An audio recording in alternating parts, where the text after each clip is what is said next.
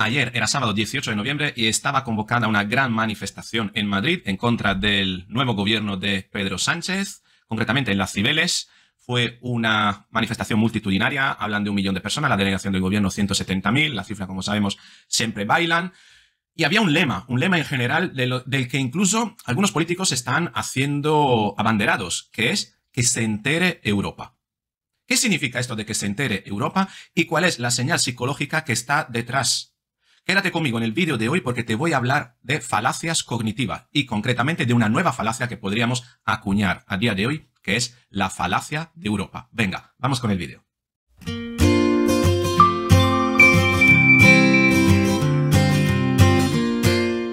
Bien, las manifestaciones en contra del gobierno de Pedro Sánchez no hacen más que aumentar, sobre todo desde el momento en que, incluso en el debate de investidura, Pedro Sánchez habló de levantar un muro en contra de los disidentes, en contra de la persona que protestan, en contra de aquellos que no piensan como él. Fíjate qué paradoja en un discurso plagado de la palabra democracia, de la que abusó abundantemente Pedro Sánchez, luego habló de esta cosa de levantar muros. Curioso porque, bueno, cuando me hablan de muros, eh, yo recuerdo el muro de Berlín y recuerdo de todas las mentiras que contaban los comunistas de la DDR acerca de todos los males que habían al otro lado del muro, ¿no? Para proteger, supuestamente, ¿eh? a los buenos ciudadanos que eran los alemanes de la Alemania del Este. Fíjate cómo a veces se utilizan las palabras para manipular, palabras que tienen un contenido, un fuerte contenido, una fuerte connotación, para pintar una serie de escenarios, ¿no? No sé realmente cuál era la intención de Pedro Sánchez con esa afirmación. Si acaso, si te interesa, escríbeme en los comentarios porque podría analizar mejor ese apartado del discurso de Pedro Sánchez y eh, ver, buscar eh, significados, eh, leer entre líneas cosas. El apartado de cuando habla del muro. Pero aquí estamos para comentar otro elemento, que es el tema de la falacia de Europa. Te pongo unas imágenes sobre la manifestación de Madrid en Cibeles.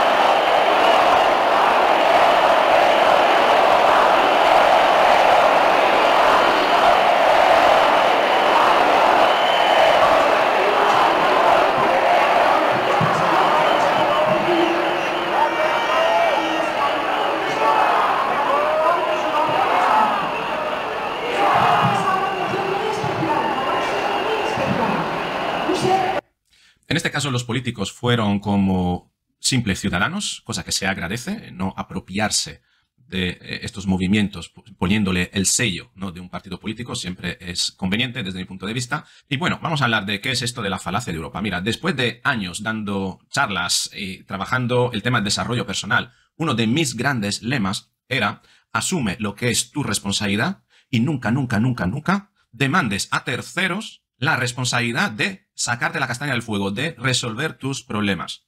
Tu autonomía es tu responsabilidad. Nadie más y mejor que tú es capaz de resolver tus propios problemas. Es más, nadie hará más de lo que esté dispuesto a hacer tú para resolver tus problemas.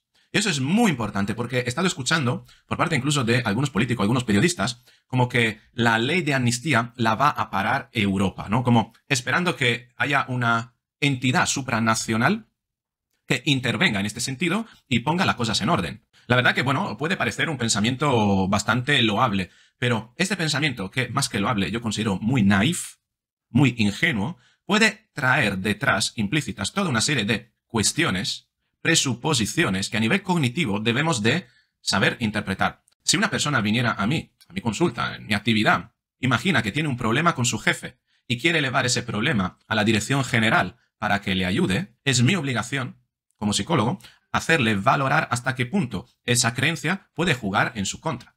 Claro, en mi experiencia he visto como directores generales han recibido a empleados que se habían ponteado a su jefe y no lo tomaron nada bien, lo tomaron como un acto desleal frente a su propio jefe. Si es cierto que luego comentaron con el jefe, pero la gran mayoría de las veces no suelen tomar carta en el asunto. Es más, si la toman es en contra del empleado, no es en contra del jefe. Es más, muchos jefes se suelen ver ponteado por este tipo de actitudes que no son nada bien vistas en las empresas. Ningún CEO, ningún director general tomará nunca una decisión, si es buen director general, deslegitimando ante su plantilla a su propio jefe interviniendo. Y esto básicamente es lo que haría Europa. Europa jamás se intrometería dentro de lo que es el ejercicio de las funciones de un gobierno. Bien, esté más o menos de acuerdo. Puede lanzar recomendaciones como hace con Hungría, como ha hecho con Polonia, pero nunca, nunca, nunca va a suplantar la autoridad nacional con cambios importantes. Es muy difícil, además, que países de la Comunidad Europea y la misma Comunidad Europea sancione a un propio miembro. ¿Por qué? Porque, bueno, condicionaría la propia imagen de la Comunidad Europea. Más aún si cabe, cuando esa Comunidad Europea está gobernada por una persona que es von der Leyen, que está muy alineada con la ideología de Pedro Sánchez. Las dos los dos son promotores de la Agenda 2030 y el año que viene von der Leyen además tiene elecciones y quiere ganar favores, quiere ganar simpatías para salir reelegida. Entonces, claro, no se va a poner en contra de Pedro Sánchez y de un país que tiene aliado en esa agenda. Por tanto, el hecho de pensar que Europa va a salir al rescate de eh, España, de que Europa va a tumbar la ley de amnistía, es una falacia, es un engaño, es un lanzar la pelota adelante, esperando que otra persona asuma una responsabilidad que nosotros no somos capaces de asumir. ¿Y hasta qué punto ese pensamiento por parte de una persona que va buscando un tercero que intermedie en un problema no deja de ser la demostración del desempoderamiento que sufre esa persona? Como psicólogo yo lo que haría sería ofrecerle si quiere trabajar en un mayor empoderamiento para asumir sus propias responsabilidades. Pero no deja de ser una actitud infantil ese autoengañarse pensando que una figura de autoridad va a venir a resolver el problema que tú no eres capaz de resolver. Es más, hay un peligro muy grande escondido detrás de estas prácticas y consiste en el hecho de que en el momento en el que tú pides a una autoridad mayor que intervenga, esa autoridad mayor decidirá en base a lo que considera esa autoridad y no tú. Por tanto, la jugada puede ir bastante en contra al final de la feria.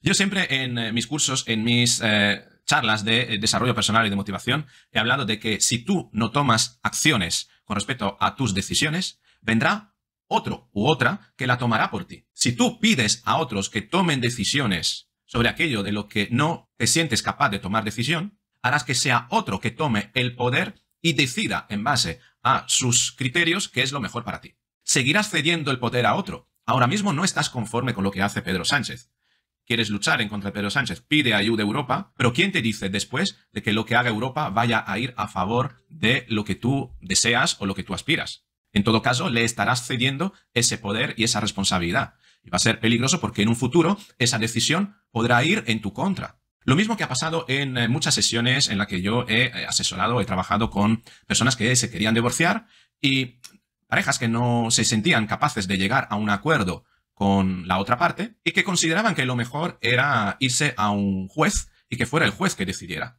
Pero claro, en el momento en el que ceden esa responsabilidad a una entidad externa, puede ser que la decisión que tome esa entidad externa, muchas veces suele ser así en los divorcios, puede que no vaya a favor de ninguno, que la tome en base a un criterio de banda ancha, pero que no satisface a ninguna de las dos partes. Entonces, no hay peor recurso que el de buscar a un tercero que resuelva o que intervenga en tus propios problemas. Debemos de ser capaces dentro de España de resolver esto de una manera claramente pacífica, de una manera claramente acorde con la ley. Podemos pedir ayuda, podemos sensibilizar, sí, pero no caigamos en la falacia, en el error de pensamiento de creer que otros vendrán a resolver esta cuestión. Esto no pasará. No nos autoengañemos, no te autoengañes, sigue trabajando para lo que tú consideres que es válido y oportuno para ti, busca los argumentos, busca las fórmulas y, tarde o temprano, tal vez encuentres esa solución y encuentres la vía de salida. Y esta es básicamente la falacia de Europa, es decir, ese error de pensamiento que nos hace creer que esa entidad supranacional vaya a tener más poder que nosotros mismos en nuestro territorio. Y además te digo, ojalá que esto nunca sea así, porque significaría perder a España como nación en su propia autodeterminación como país. Este es mi pensamiento, esas son mis conclusiones, pero ahora la palabra va a ti. Escríbeme en los comentarios qué es lo que opinas. Quiero conocer tus opiniones. Si te ha gustado este vídeo, dale like. Si crees que puede ayudar a otras personas o interesar a otras personas que lo compartas, suscríbete, activa la campanita para estar atento, atenta en el momento en el que publique el siguiente vídeo. Con esto es todo. Un beso. Hasta la próxima.